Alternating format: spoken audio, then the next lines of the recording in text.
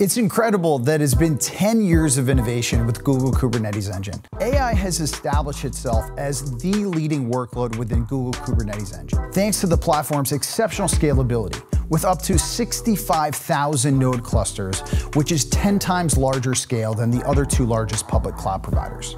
At HubX, we build highly scalable mobile apps for over 200 million users across 160 countries and we have 15 GenAI apps in our portfolio. Agility, speed and scale are very important to us, which is why we turn to the Google Kubernetes engine. Using TPUs on GKE for image generation, like the newer Trillium for inference has significantly reduced latency by up to 66%. User get responses in under 10 seconds instead of waiting up to 30 seconds. Today, our customers consume more than eight times the compute capacity for training and inferencing compared to 18 months ago. At LiveX AI, we're building AI agents to simplify everyday life. Google Kubernetes engine helps us to ramp up fast and go to market much faster.